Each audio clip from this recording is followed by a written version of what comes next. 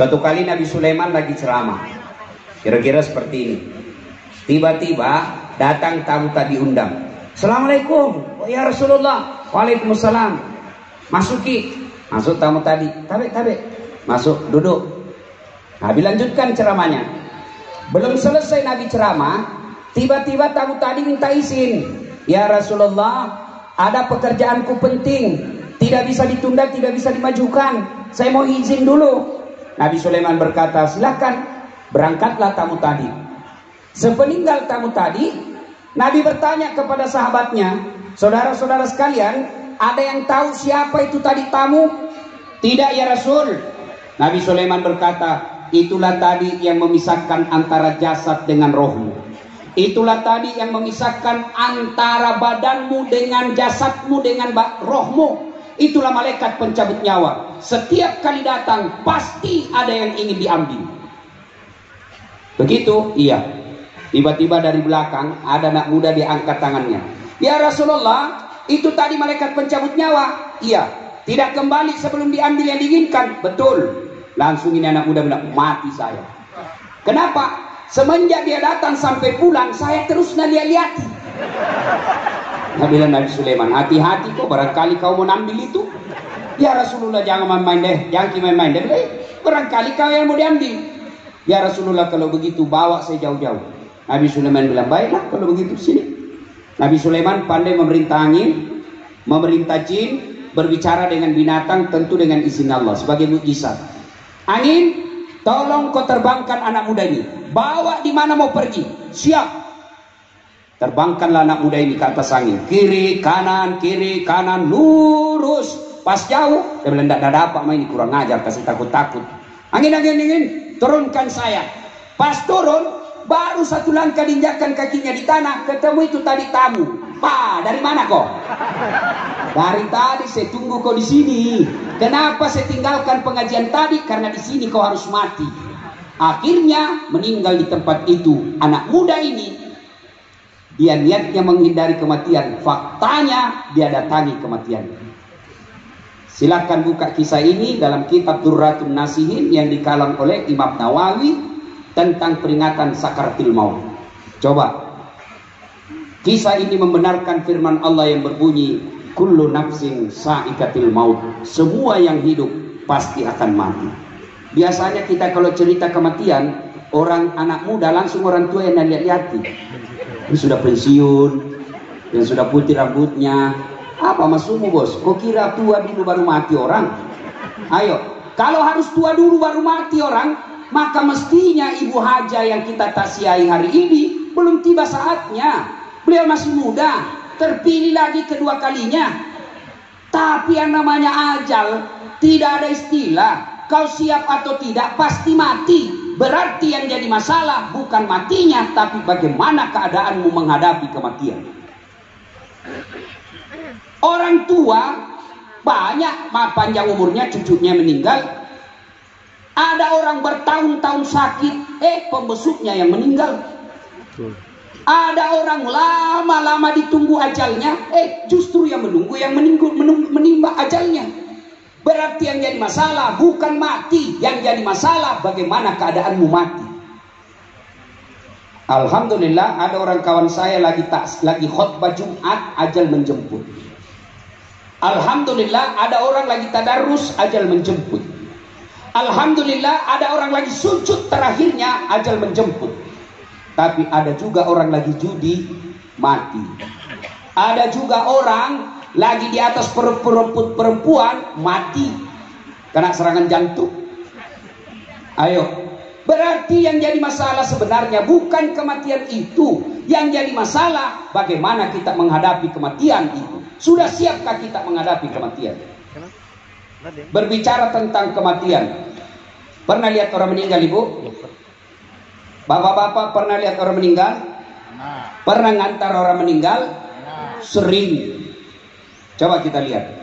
Kata Nabi, apabila anak cucu Adam sudah masuk ke dalam kubur, meninggal, eh, anak cucu Adam meninggal, maka coba lihat lihat reaksi kita Pak. Kalau meninggal mati. Saya punya grup WhatsApp ratusan. Coba lihat kalau ada di grup meninggal. Coba lihat Pak, apa reaksi teman?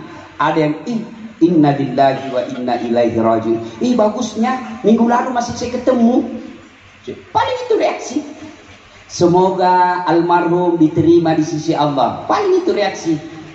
Tapi ada yang lebih menyakitkan pak nah kopi paste saja ucapannya orang. Karena malasnya mengerti. Coba padahal teman akrab itu kita selalu minum warkop selalu ditraktir dijemput. Begitu kita meninggal nah kopi paste saja itu ucapan innalillah. Begitu tidak pedulinya sama kita kalau kita sudah mati pak. Ayo pangkat jabatan hilang tidak ada gunanya coba kalau kita meninggal tiga yang ngantar kita kata Nabi telu mantarako demi Allah dua yang kembali satu yang tinggal temani kamu apa itu satu begitu ibu meninggal pertama yang ngantar harta keluar semua mobil, keluar semua motor. Untuk apa? Mengangkut sanak saudara dan keluarga yang datang mengantar kita. Keluar mobil. Apakah mobil tinggal? Jangankan mobil, cere. Cere tinggal, keluar teriak orang. Weh, cere, cere, bawa pulang. Ayo, pelajaran. Baru saja kita lihat tokoh nasional istri beliau wafat Ibu Ani Yudhoyono kurang apa 10 tahun jadi presiden suami harta tentu cukup tapi begitu masih liang kubur ada WhatsApp dikirimkan ada televisi dikasih masuk. Apa yang masuk temani kita? Kain kafan. Kain paling murah. Bukan kain sutra. Mantan-mantan dia pernah menjadi istri presiden. Kasih kain sutra berlapis-lapis. Tidak kain kafan. Apa parfum tak kalau mati? Apa? Kapur barus. Angel Man, Hugo Boss. Tidak ada. Ayo, ini ada cerita soal harta. Ada orang kaya sekali, banyak duitnya. Ketika usia senja dia panggil anaknya, nak. Kalau saya masuk di kubur nanti temani kak 50 hari, 40 hari nak, ambil mako hartaku 50 persen. Berapa hari pak? 40 hari mau nak. Karena di situ masa-masa kritisnya orang dikubur. Nabi bilang jangan nih pak, tidak ada gunanya itu harta, jangan makin. Tidak mau kak, kecewa bapaknya. Dia panggil istrinya, kalau begitu kau mau pada bu, temani kan nanti masuk dikubur. Apa Nabi bilang istrinya, anakmu saja tidak mau, apalagi saya. Dia panggil adiknya, dek, sini kau dulu, saya kasih sekolah kau dulu itu. Nah, kasih temani kak dikubur 40 hari, Nabi bilang, eh, anak istrimu saja tidak mau, apalagi saya. Kecewa lah ini orang tua. Dia bikin sayembara. Siapa yang mau temani saya ambil hartaku 50%. Didengar sama fakir miskin di kampung itu. Betul-betul miskin. Apa kerjanya? Penebang kayu di hutan. Maka dia bikin kontrak. Setelah meninggal ini orang tua. Betul masuk. Begitu dia masuk. Dibikinkan tempat. Pengantar semua kembali. Datang malaikat. Ih, kenapa ada orang hidup di sini? Langsung tidak jadi didatangi orang mati. Kenapa ada kau di situ cilaka? Nah bilang saya ini orang miskin. Ada perjanjian bisa ini orang mati. Kalau saya temani 40 hari, nah kasih ke hartana 50 persen. Kau miskin kah? Miskin. Apa saja kau punya? Nah bilang kampak ji. Pak, boleh ditanya. Dari mana itu kampak? Oh, satu hari ditanya pak. Penjelasannya satu hari sampai sore. Nah bilang karena sore, eh besok dilanjutkan. Balik malaikat datang lagi hari kedua. Tuntas itu dari mana? Lalu ditanya lagi, kau gunakan itu apa kampakmu? Ditanya lagi, satu hari dijelaskan, eh sore dibalik lagi. Hari ketiga, siapa yang beli itu kayu yang kau ambil? Ditanya lagi. Sehari keempat sampai hari keempat puluh. Begitu hari keempat puluh orang sudah pada kumpul di atas kubur. Wih jago ini selama ini. Begitu lompat ke hari empat puluh, Datang semua, weh jago ambil aku 50 persen. Apa nak buang kampaknya? Apa 50 persen? Ambil kau ini kampakku saja, saya 40 hari kan ditanya. Lama aku ambil kosong itu. Hati-hati yang punya mobil banyak pak, banyak pertanyaanmu nanti. Kan kau ketawa serius kayak ini. Dari mana itu Rolexmu? Kalau dilihat tidak bisa dah apa gajimu itu. Dari anu anu anu, anu apa? Hmm, masih kok. Dua, harta.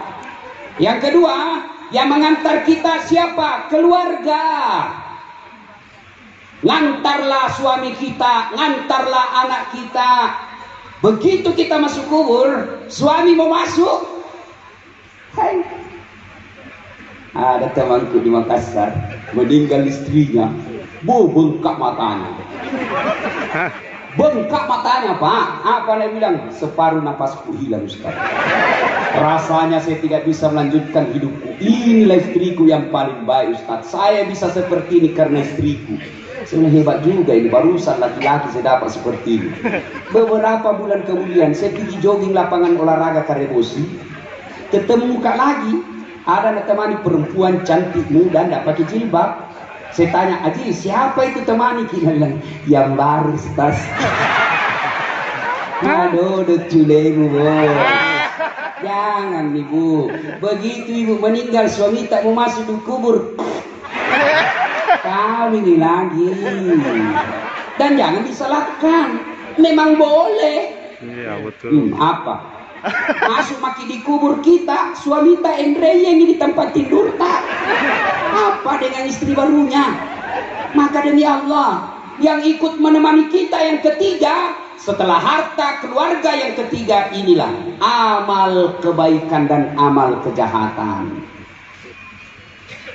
Kalau almarhumah selama jadi anggota dewan menerbitkan perda yang betul-betul menjunjung hak asasi kemanusiaan, yang menjunjung dan memuliakan orang-orang baik, banyak membantu kemanusiaan, banyak amal-amal kebaikan, maka selama perda itu dijalankan di kabupaten ini, selama itu almarhumah mendapat kiriman pahala.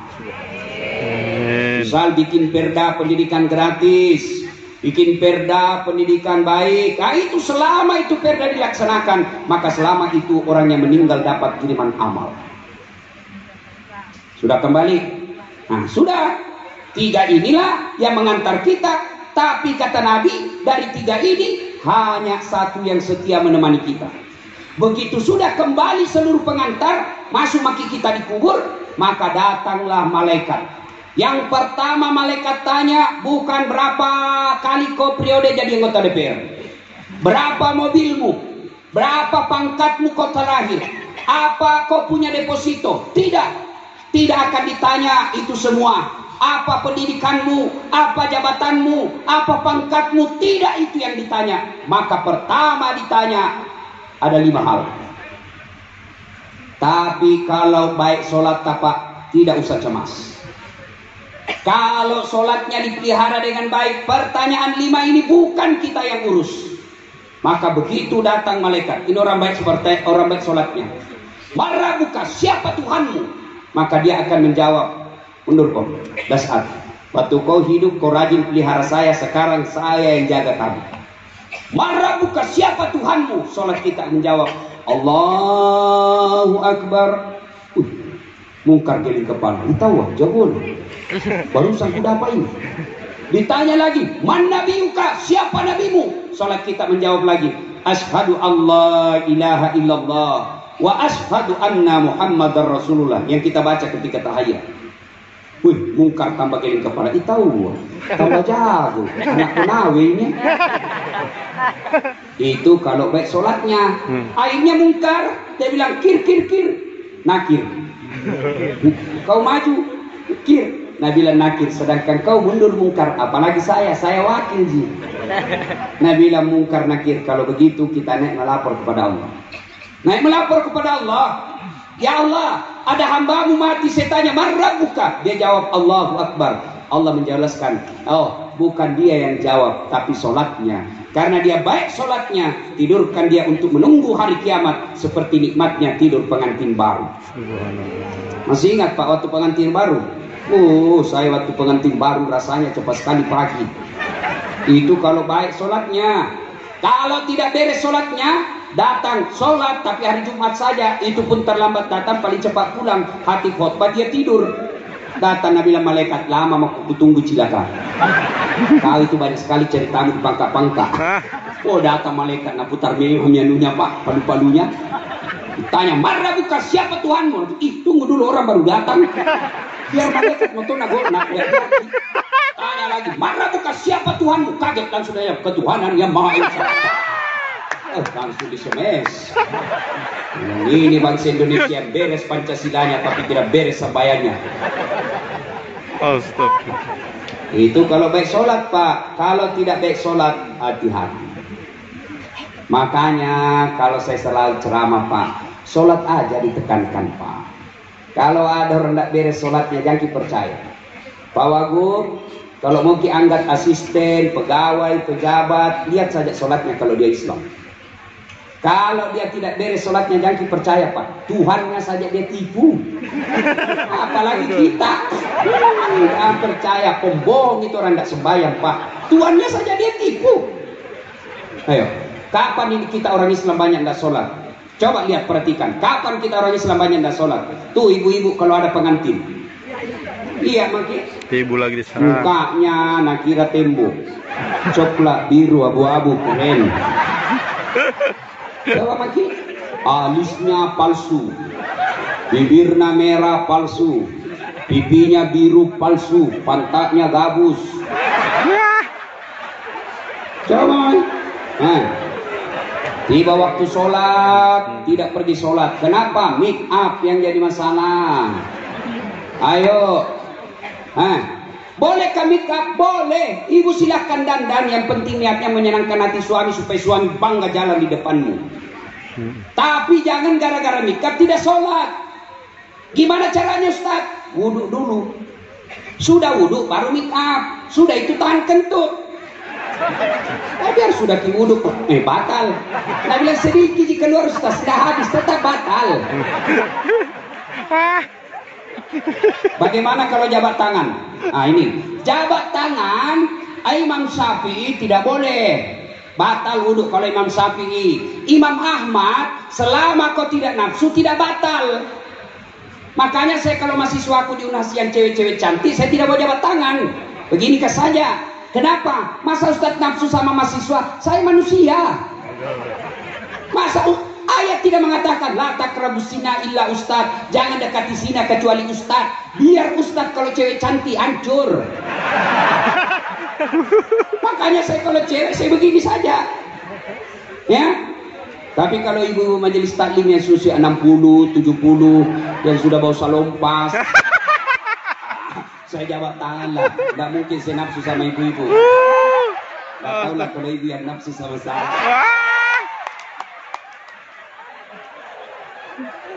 Ayo. Ah. Salumpas. Apalagi yang membuat kadang-kala ibu-ibu tidak sholat selain make up apa jilbab. Hmm, jilbab sakaratil maut. Ada talinya 2 meter. Nah ikat-ikat memang itu untuk di leher. 2 meter itu karena kasih bunga. Karena naikkan tidak bisa digoyang itu lehernya.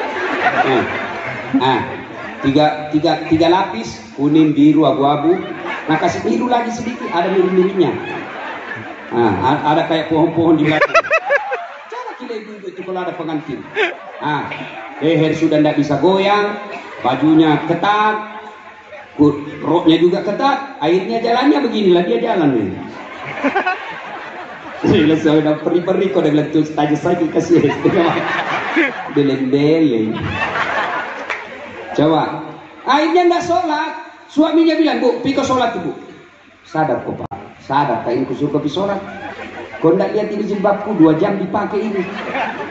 Hah, gara-gara tidak pakai, gara-gara jilbab dia tidak sholat. Ayo, buka itu Quran. Bapak-bapak yang malas sholat, buka itu Quran. Buka surah Al-Hajj ayat 47. Di situ Allah jelaskan, sekali meninggalkan sholat, Allah hukum satu hari di neraka. Berapa namanya sehari neraka? Seribu tahun ukuran dunia. Jangan ngerpreme soal sholat pak. Perintah puasa, Allah tidak puasa. Coba.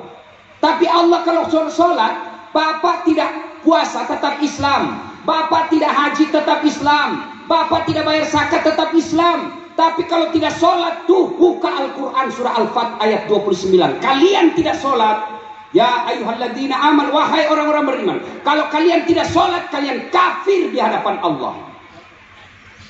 Muhammad Rasulullah walladzina ma'ahu asidda walal kuffar ruhama ubainahum tarahum rukkaan sujada. Kalian orang Islam, kalau dia tidak sholat, kafir di hadapan Allah. Ayo. Kalau bapak tidak puasa, tiga tahun berturut-turut, tobat hari ini, bayar puasa yang lewat tiga tahun itu, selesai bayar puasa tidak ada dosa. Bapak tidak haji padahal sudah mampu, pergi tahun depan haji, selesai haji, tidak ada masalah. Tidak bayar sakat empat tahun berturut-turut, bayar sakatnya besok, tidak ada persoalan. Tapi ketika bapak tidak sholat subuh tadi, bagaimana caranya bayar? Ayo, yang tidak sholat subuh tadi, bagaimana caranya bayar? Ah, bagaimana? Nah bilang besok Ustaz, ya besok untuk besok. Dua kali kak sampai subuh besok Ustaz, lebih salah lagi. Tidak ada, begitu lewat, tinggal tunggu hukumannya. Saya kasih lagi contoh bahayanya orang tidak sholat Pak. Pak Wakil Gubernur, ada anak buahnya tidak jelas kerjanya. Beleng-beleng. Dikasih kursus tetap dongo. Hah? Kasih amanah tidak dijelaskan. Kasih pindah ke pulau. Pulau terpencil. Kasih pulau terpencil. Ini pegawai tidak senang di pulau tersebut.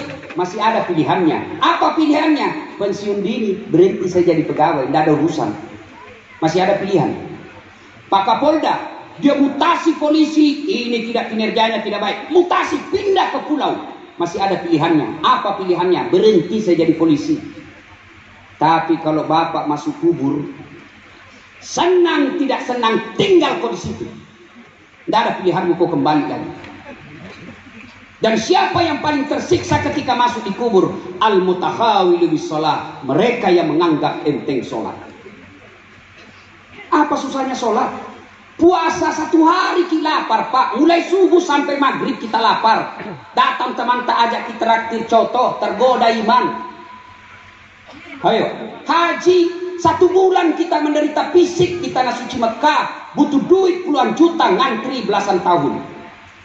Sakat perlu duit Tapi sholat apalah santak tidak mau? Apalah santak tidak mau sholat? Allah kasih keringanan Ustaz, saya tidak tahu bacaannya. Wala tai rafillah kata Allah. Jangan kau putus asa. Kau tidak tahu bacaannya, datang kau berjamaah di masjid. Kalau imam sudah baca, kau diam saja, sah. Eh, tidak ada ku baca Ustaz, sah. Gimana caranya? Imam yang baca. Anu saja ucapkan, amin. Diam kau lagi. Sah. Imam yang bagi bacaannya, Ustaz, saya tidak bisa kena air. Tayamum. Allah kasih keringanan. Tayamum. Gimana caranya tayamum? Letakkan telapak tanganmu di dinding. Letakkan telapak tanganmu di kalau dia di, atas pesawat, di kursi pesawat. Letakkan telapak tanganmu di dinding mobil kalau kau di atas mobil. Usap wajahmu satu kali, tiga kali lebih baik. Satu kali sudah sah. Sudah itu usap lagi kedua tanganmu. Selesai. Meskipun ada juga orang pernah tayamum saya lihat dia kasih begini telapaknya anu apa? Di pesawat baru dia kasih begini.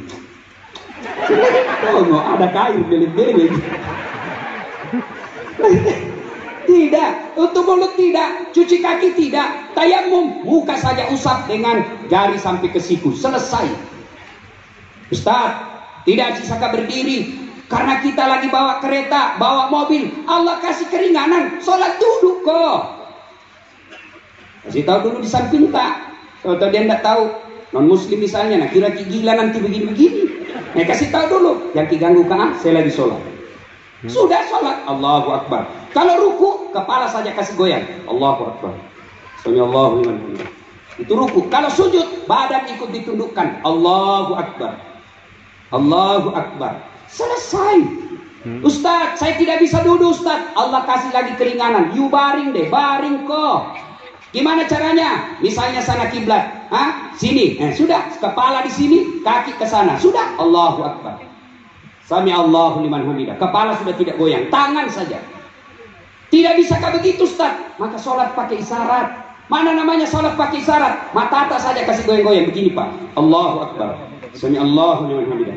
Allahu Akbar. Ah, itu ini ya mata, kakak, tangan sudah tidak bergerak.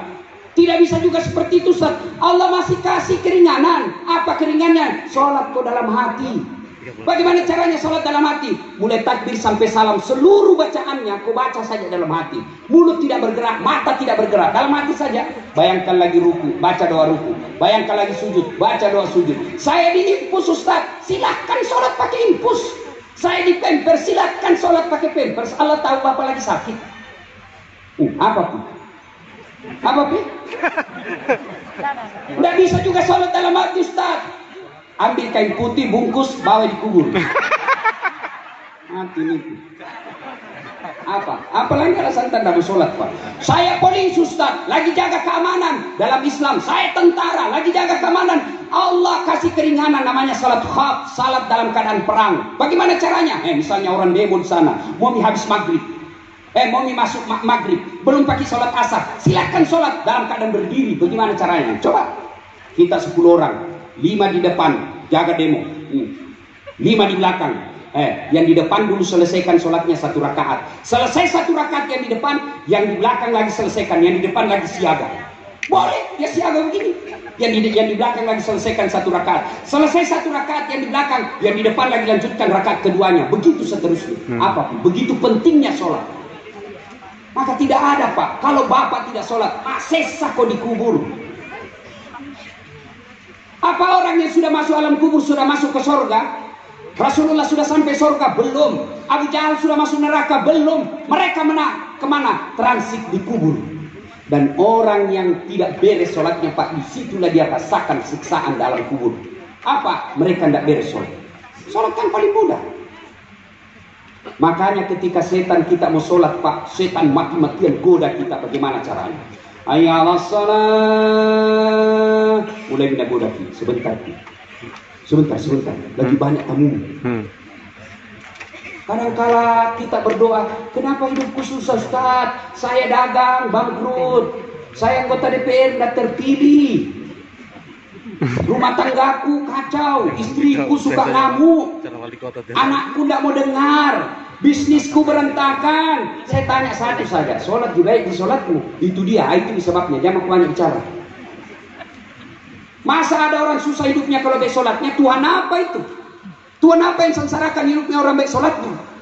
Ya Allah perbaiki hidupku Allah kabulkan doa tak Ya Allah sempurnakan bahagiakan rumah tanggaku Allah kabulkan dengan cara apa Coba lihat Dia bilang Hayya ala salat Sini kau paling Kalau mau kau baik hidupku Hayya alal falah. Tahu tak artinya itu hayya alal falah?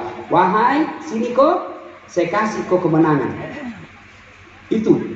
Tapi apa jawaban kita? Tunggu. Coba mungkin Wakapolda, Pak Wagu, ada itu ajudannya? Coba lihat. Beliau-beliau kalau panggil ajudan. Ajudan, langsung dari siap. Itu ajudan, biar tidur makan jalan kotek, langsung lompat siap. Nah buang itu kuenya, siapa? Siap komandan. Kira-kira ada ajudan dipanggil, ajudan, tunggu dulu pak. Dia mau injak kepalamu. Ajudan, bapak ndak lihat saya sibuk, be. Coba, itu manusia. Ada pensiunnya, ada hilang jabatannya begitu takutnya kita sama manusia. Tapi ketika Allah panggil kita dalam sholat, Hayya salat. Apa kita jawab? Tunggu, lagi meeting. Kita tahu, bilang Tuhan, urus nih paling meeting. Pantas duit kita bermiliar-miliar, tapi tidak ada kedamaian yang kita dapat. Kenapa? Karena sumber kedamaian kita jauh. Iya. Saya sholat ya iya, iya. Ustaz, kenapa hidupku bermasalah? Memang Bapak sholat tapi tidak ikhlas. Ayalah salah. Asar lagi. Baru sampai sembahyang dulu. Oh, tidak ikhlas kok. Nanti pi. Nanti pi. Saya sholat Ustaz, betul sholat tapi main-main. Allah. Iya, nanti saya hubungin dengan bahasa Arab. Oh iya iya. Ah, Iya iya. Ada sholat pantat lu koti-koti. Allahu Akbar. Hmm. Ada juga yang lebih. Allah. Ada juga kuliah di masjid itu sembahyang pakai keju-keju. Ada juga sholat cari duit. Allahu Akbar. Tadi waktu seratus ribu. Beli pulsa 50 ribu. Beli bensin 30 ribu. Mana ini 20 Allah.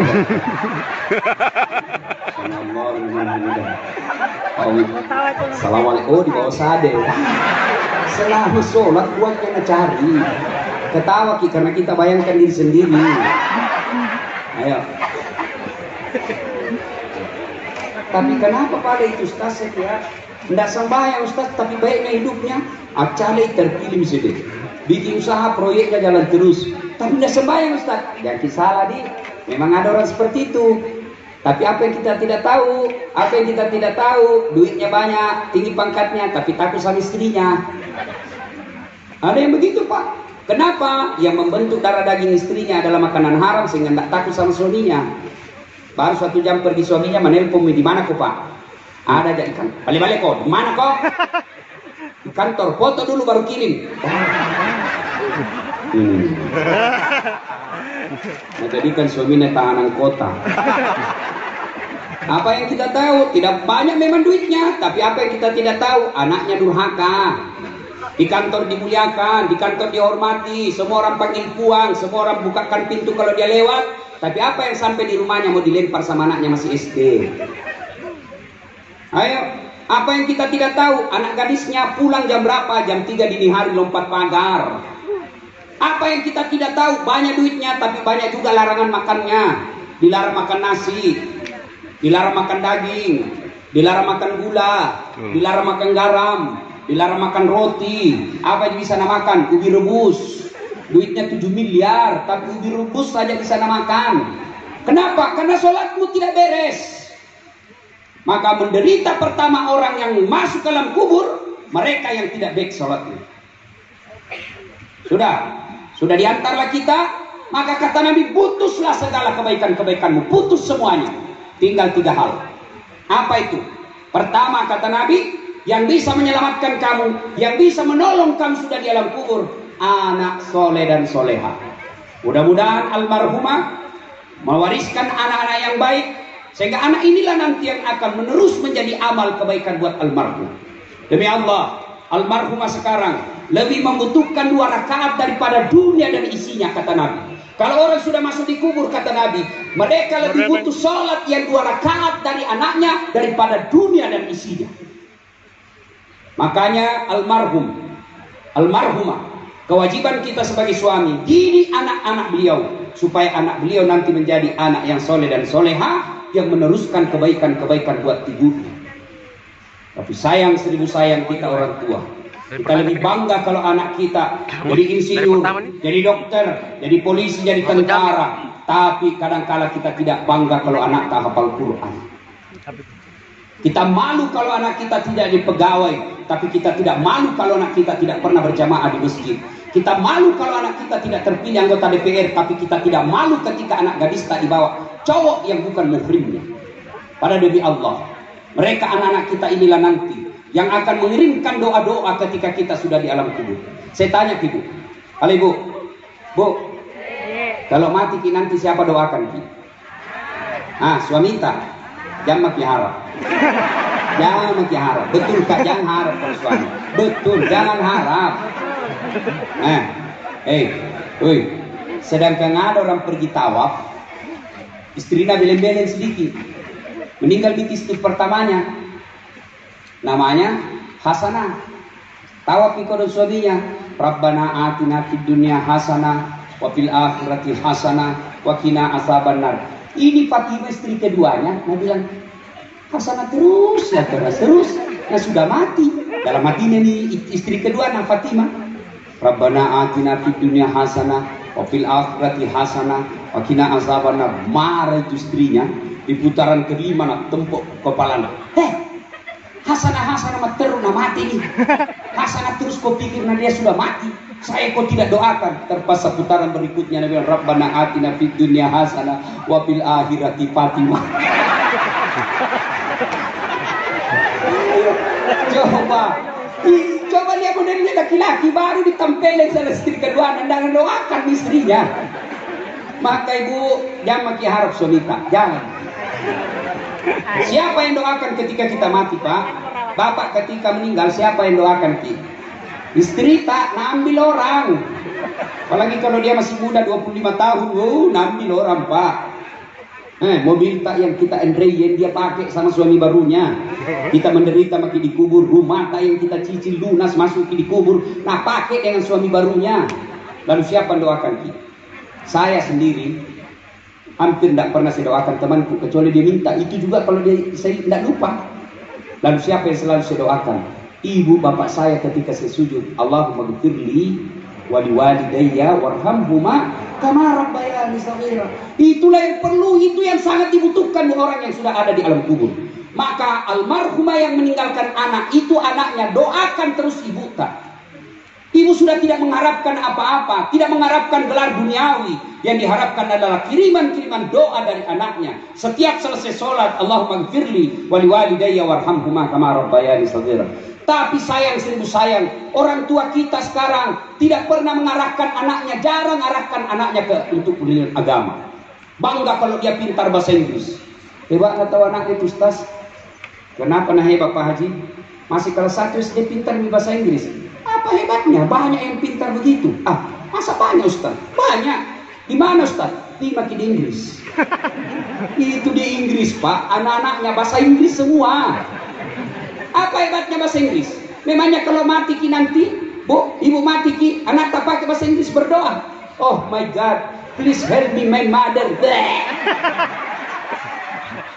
Pasti pakai bahasa Bugis atau pakai bahasa Indonesia. Ayo, maka titiplah anak-anak kita menjadi anak yang soleh dan soleha. Bagaimana cara supaya anak tak baik? Satu, jangan kasih makan barang haram.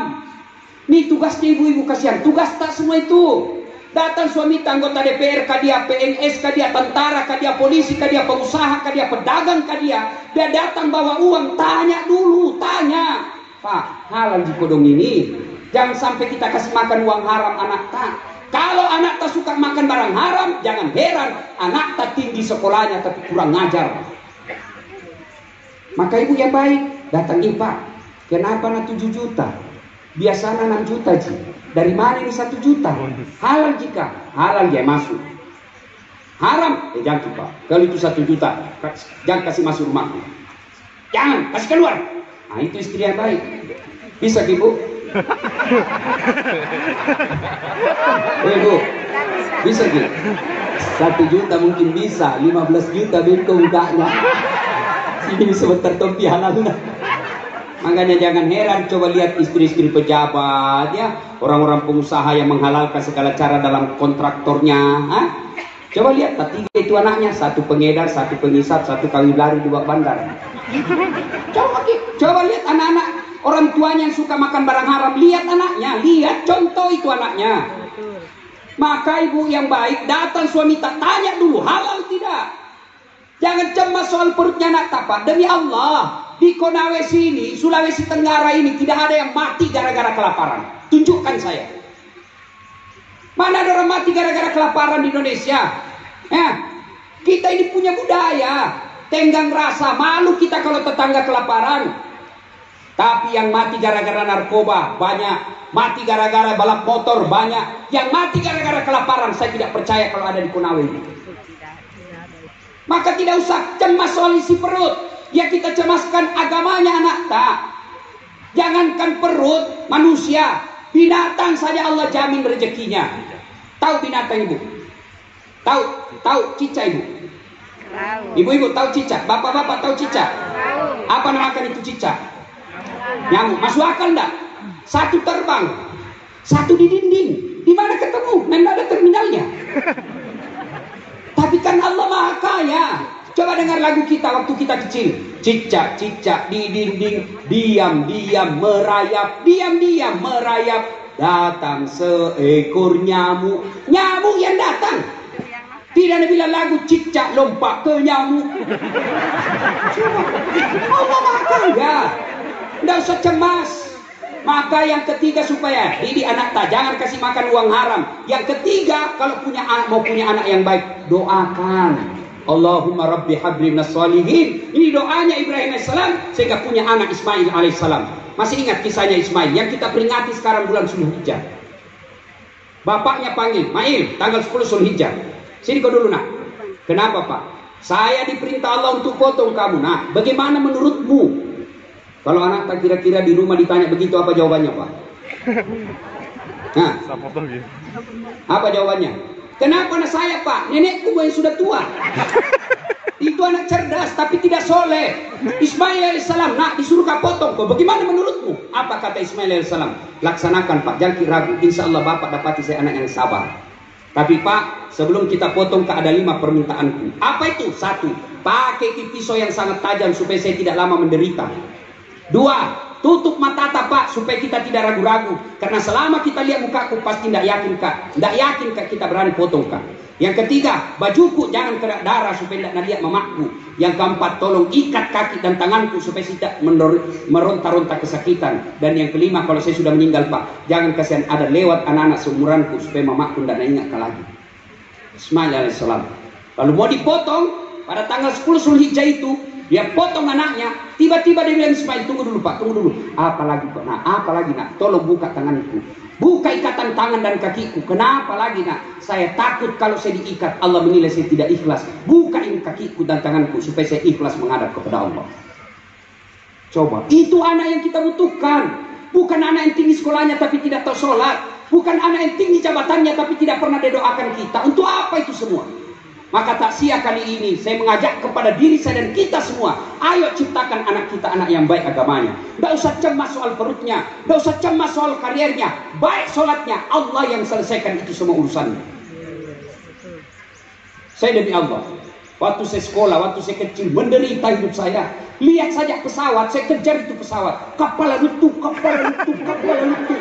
Dalam hatiku bisa aja itu nanti naik pesawat. Saya di kampung, saya bisa gitu nanti mati sebelum naik pesawat kak. Dengan izin Allah, capek saya naik pesawat sekarang. Hebatnya lagi, saya pergi ke mana-mana gratis. Hebatnya lagi, pulang bawa uang.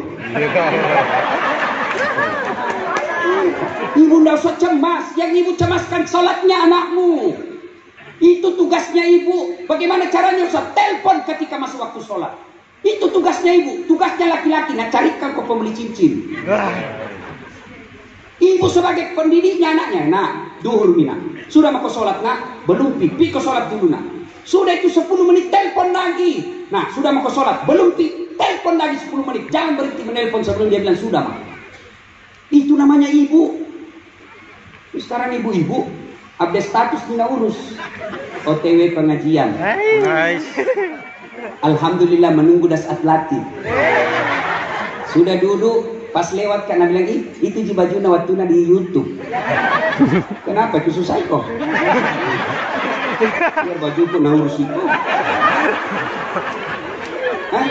Oh, action to action. Cantik memang cantik, Bu. Eh, Bu.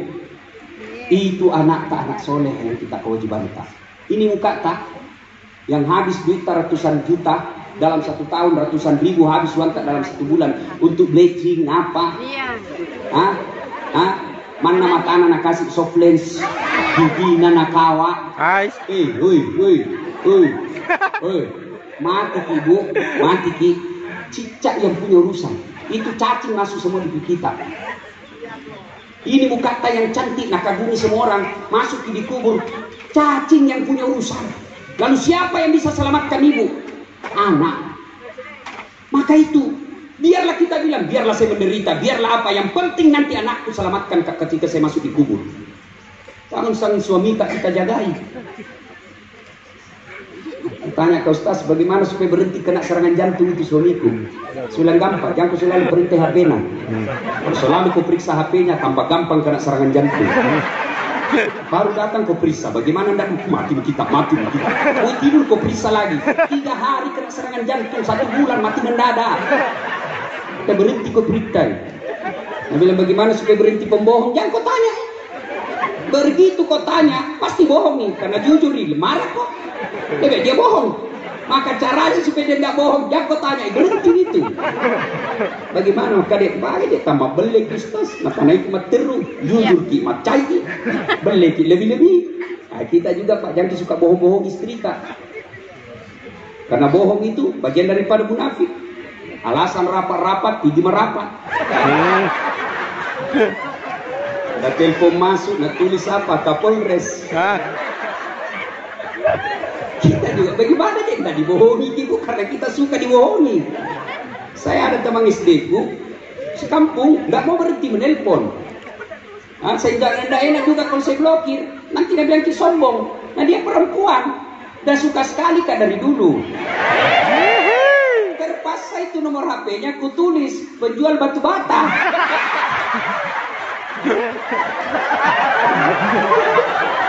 Handphone na dia mama nece. Ustaz, penjual batu bata hujan kuat kayak tagihan tagihan.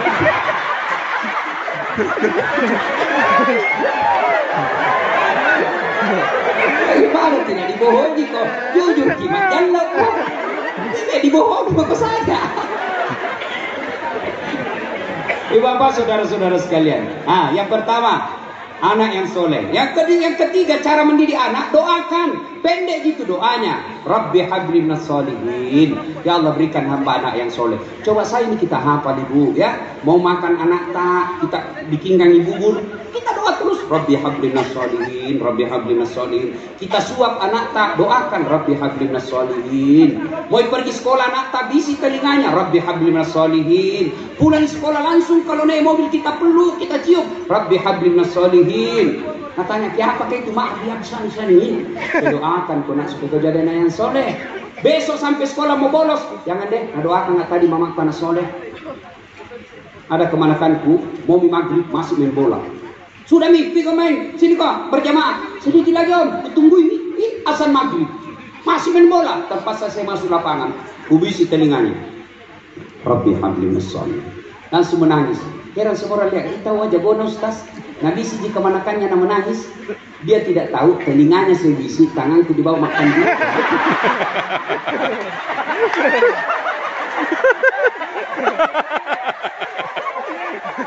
Artinya apa? Artinya apa? Kalau anak salah kasih hukuman. Ini kadang-kadang cara mendidik kita mulai lenyap dari nenek kita dulu. Bapak kita dulu salah dihukum kita. Saya itu pernah dikasih lombok sama mamaku. Hah? Lada lopo, lombok besar yang merah dicobek-cobek, dikasih di mulutku, diladani orang dulu kalau didengar bicara kotor. Dihukum itu anak supaya apa kalau kau salah ada balasannya. Tapi jangan lupa doakan karena hidayah datang dari Allah. Sudah dididik Ustaz, sudah dikasih makan uang halal, sudah didoakan setiap saat, masih tetap sesat, bukan urusan tak. Jangankan kita, Nabi saja anaknya Nabi Nuh tidak dapat hidayah, bukan hidayah, bukan kita yang berhidayah. Yang wajib kita didik, arahkan, kasih makan yang baik, tapi kalau masih sesat, serahkan sekalanya kepada Allah Subhanahu wa taala. Yang kedua, yang akan menolong kita setelah punya anak soleh, ilmu yang bermanfaat. Maka handphone kita yang kita miliki, jadikan itu sebagai alat untuk menyebarkan amal-amal jariah. Dengan cara apa? Sebarkan dakwah, jangan kau sebarkan hoax. Ini mau lagi pilkada pemilu serentak. Tuh banyak lagi tuh berita-berita bohong. Jangan sebarkan. Selama kau sebarkan berita bohong, selama berita bohong itu beredar, maka selama itu kau dapat kiriman dosa meskipun kau sudah di alam kubur. Termasuk foto-foto porno. Bapak-bapak yang suka bercanda di handphone, kirim gambar-gambar porno. Meskipun bapak niatnya canda, tapi prakteknya adalah dosa, maka itu yang hancurkan dosa-dosa bapak amal-amal kebaikan Bapak. Itu apa? Menyebarkan film-film porno dan akan memperbanyak dosa-dosa jariah. Kemudian apa lagi? Yang akan menyelamatkan kita adalah lari-lari terus pahala. Apa itu? Setelah itu dengan sedekatun jariah, bersedekah. Almarhumah tentu memiliki beberapa aset. Maka sebaiknya kalau anak-anak sudah mapan, maka anak-anaknya akan berkata, Pak, ini kalau ada peninggalannya ibu biar kita jual ini tanah jadikan masjid selama masjid itu dipakai ibadah maka selama itu almarhumah dapat kiriman pahala. Ibu-ibu nih yang sudah muka-muka sakaratil maut. Nah yang sudah tua-tua sudah dijual itu cincin tak bawa untuk kehidupan akhirat tak Ustaz saya mau kuburku terang. Kirimi pembeli lampu di masjid. Insya Allah terang itu kita punya kubur. Tiap bayar tiap bulan itu masjid. Ada itu lampu di kubur tak menunggu kita saya mau punya spring bed di kubur Ustaz. Kirimi pembeli spring bed di panti asuhan. Bukan panti pijat panti asuhan. Banyak tong ikut tiap bulan pergi panti pijat saya tanya kenapa ke panti pijat nah harusnya panti asuhan. Nah bilang sama-sama di panti Ustaz. Sama panti tapi beda cita rasana bos. Nah, panti asuhan.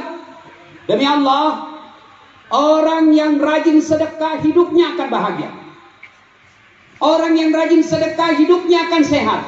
Karena Nabi jelaskan siapa yang mau panjang umurnya sehat walafiat tertolak dari bencana as-sadaqatu kata Nabi. Bersedekahlah.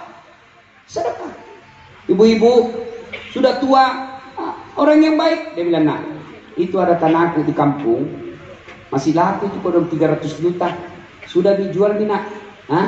Itu 200 juta bangunkan ke masjid 100 jutanya bagi-bagi itu namanya nak kirim memang nah ini ada emasku 70 gram sudah minat jual nih Insya Allah dapat itu kira-kira 500 juta.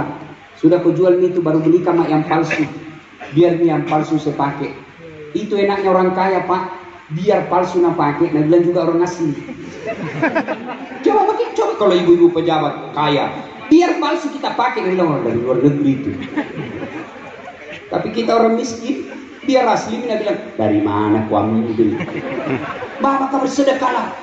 Apakah sedekah harus dengan duit? Tidak. Para aparat keamanan, polisi, tentara, sedekahnya apa? Ciptakan keamanan. Itu sedekahnya.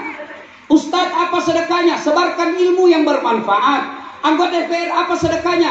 Ayo kau bikin perda yang kau bisa nikmati sampai hari akhiratmu. Pejabat-pejabat sedekahlah dengan apa? Giatkan pembangunan yang kau akan nikmati ketika di alam kubur. Ayo sedekah.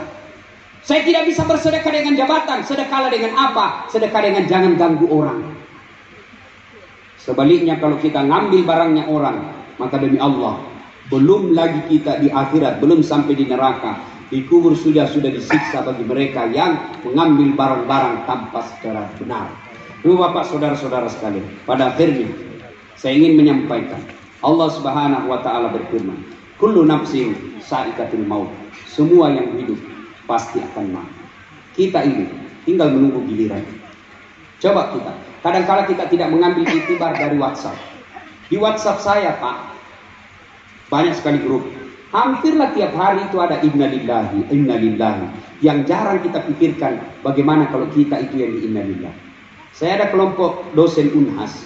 Dalam satu minggu, empat sahabat kami yang meninggal. Dalam satu minggu. Bagaimana kalau kita yang tiba-tiba di dipanggil menjemput, ajal menjemput. Bagaimana kalau kita tidak siap? Maka keliru kita Pak, yang umur tak sudah 50 tahun ke atas. Coba, saya ini kerja aku sia di Makassar, hampir tiap malam saya tak sia. Jarang saya orang tak sia sekarang umur 80 tahun. Jarang orang saya tak sia sekarang 70 tahun. Kalau dulu-dulu ya barangkali 70 tahun, 80, tapi sekarang 40, 50. Itu berarti bahwa peluang hidup kita makin ringkas. Ajal kata Nabi, al-mautu babun Mati adalah pintu yang setiap kita pasti melewati. Kullu nafsin sa'ikatul maut. Saya ingin bertanya sebelum saya akhiri ceramah saya. Ibu bapak punya handphone? Punya. Punya handphone ibu? Punya. Punya. Itu handphone kalau dipakai terus kenapa? Lobet. Kalau lobet diapain? Cas. Kalau tidak dicas kenapa? Mati. Kalau mati masih bisa dipakai? ada HP, ada pulsanya, masih bisa dipakai? Bisa kalau mau. Masih? Tidak bisa pak. Tidak. Lobet cas satu jam, full. Eh berarti bagus HP HP baru. Cas dua jam, masih lobet. Cas empat jam, masih lobet. Cas sampai pagi, masih lobet. Eh berarti rusak HP tak. Alhamdulillah, baru saja selesai kita cas. Pas satu jam. Kalau pulang ke ceramah ini, yang tadi malah sholat, dia sudah sholat. Kalau dia bilang, Alhamdulillah, saya bukan itu sekas. Insya Allah mulai besok saya perbaiki agamaku mulai hari ini. Berarti baik itu Pak. HP tak HP baru. Inilah yang Allah jelaskan dalam Quran. Bismillahirrahmanirrahim. Innamal mu'minuna alladzina isa sukirallah wajilat qulubuhum. Orang yang baik agamanya, bagus imannya, selesai dengar dakwah, mereka menjadi lebih baik. Tapi sebaliknya, kalau selesai dengar dakwah ini, Malah nak bilang, siapa panggil itu Ustaz? Pawagu, jangan kita dipanggil itu Ustaz. Enggak enak, empat nak bahasa terus nak kena.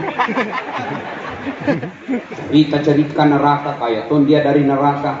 Ah, kalau begini Pak, berarti kita yang disindir Allah dalam Al-Quran. Bismillahirrahmanirrahim.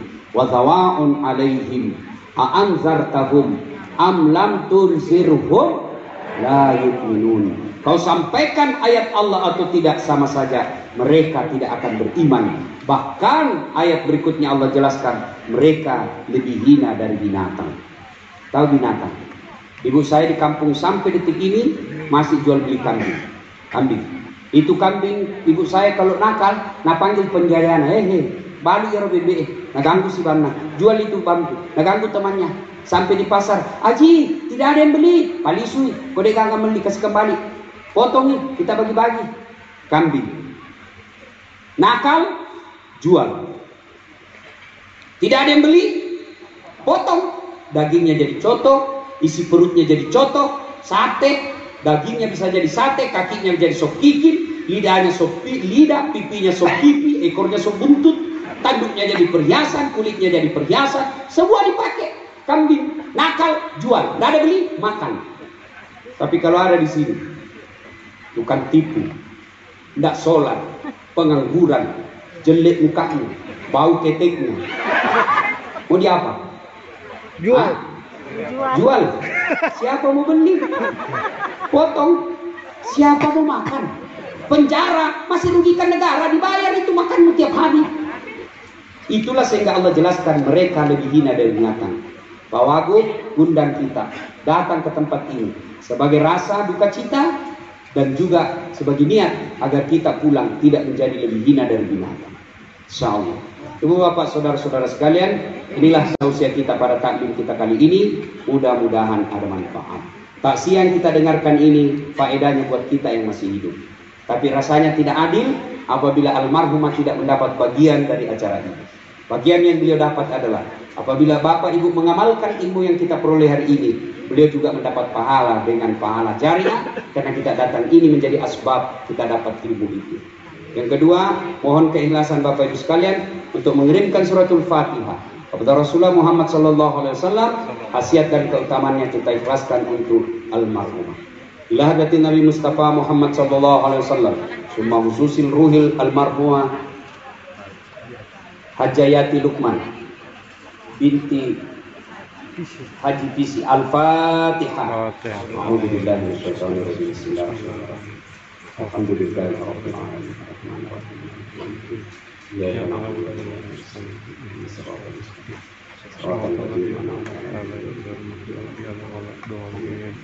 Terima kasih, lebih dan kurangnya mohon dimaafkan. Nun wal kalam yang misrun. Billahi fi sabilil haq. Assalamualaikum warahmatullahi wabarakatuh. Waalaikumsalam.